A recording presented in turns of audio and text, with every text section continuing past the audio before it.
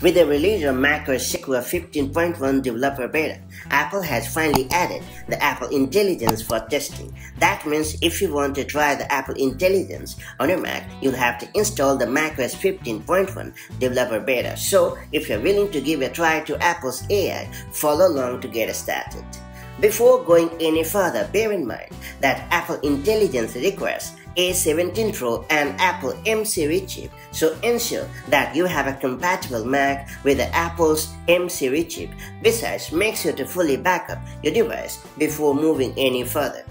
And once you have taken care of the basics, launch the System Settings app on your Mac.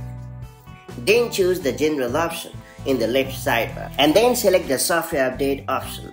Then you have to click on the Info button next to Beta Updates and after that you have to click on the drop down menu next to Beta Updates and then choose macOS 15.1 Sequoia Developer Beta and hit the Done button. Then you have to wait for a few seconds to allow the device to check for the update and after that you have to download and install the update as usual.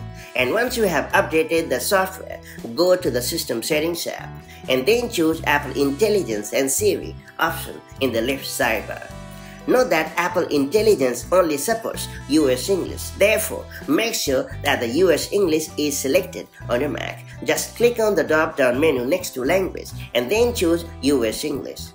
After that, you have to click on the Join the Apple Intelligence waitlist option and confirm the action. And that's all there is to it. So that's how you can easily install macOS Sequoia 15.1 beta to get Apple Intelligence early access on your Mac. If you found this video helpful, do like share it and I'll see you in the next video with more such handy macOS tips and tricks. Till then, stay safe and bye bye.